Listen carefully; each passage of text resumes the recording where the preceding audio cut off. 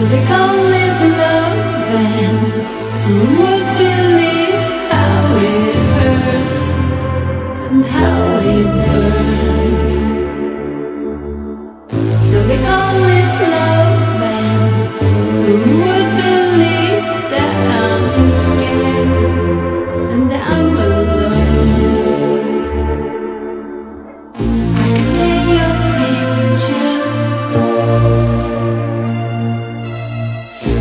change